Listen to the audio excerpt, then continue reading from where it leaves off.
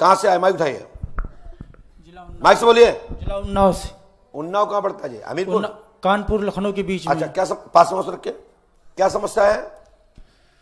प्रज्ञा और उसका भाई प्रज्ञा शादी करना चाह रहा है लड़का। किससे? प्रज्ञा सिंह ठाकुर से।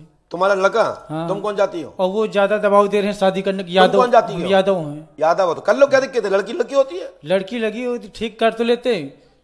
किंतु वो लड़का उसका भाई कई मर्डर कई चोरी लूट के कई मुकदमे जो पुलिस से भागा घूम रहा हो किराए पर रह रहे हैं। आज आपको लग रहा है कि वो करेंगे तो आपके घर में और वो मेरा मकान और मेरी नौकरी देख रहे हैं। और धमकी आठ जनवरी 2012 22 में दे गए हमको। क्या दे गए? कि अंकल जी आज ये जिस जगह तुम बैठे हो उस जगह कल हम होंगे। जिस जगह हम उस जगह तुम होगे। नहीं तो हमारी बहन शादी करो। ऐसा शादी है? करने को नहीं कहा। तो? कल नहीं शादी करना है तो मत करो। अच्छा चलिए हमने लिखा पढ़िए। हमने लिखा सौरभ यादव जी का लब चल रहा है। लड़की का नाम ठाकुर जाति की है समस्या हल होगी, है ना?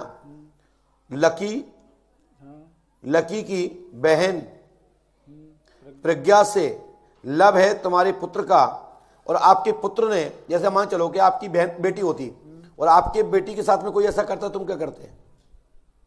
क्या करते, बताइए मुझे, माइक से बताइए। कुछ भी हो जब नहीं तैयार हैं तो घर वाले तो नहीं, यदि तुम्हारी बेटी के साथ ऐसा होता तो क्या करते हो आप? तो हमारी बेटी जब हम कह रहे जब उनको अलग कर दिया हमने लड़के को कि जो उसको लाना उससे शादी करना तो अपना अलग जाके रहो। अच्छा ठीक है। मेरे घर से अच्छा, संबंध अच्छा। नहीं रहेगा। हमने लिखा तीन वर्ष खराब हो गए हैं ठीक है तीन वर्ष से संबंध टूट रहा है और आप चाहें तो मैं जुड़वा सकता हूँ। वैसे तो शादी होना हाल में असंभव है। नहीं हो पाएगी। नहीं होगी। एक परसेंट में यदि आप खुद ही चाहोगे तो हो जाएगी अन्यथा नहीं होगी पहले स्क्रीन पर फिर उसके बाद आगे। ठीक है? हनुमान जी सहायता करेंगे।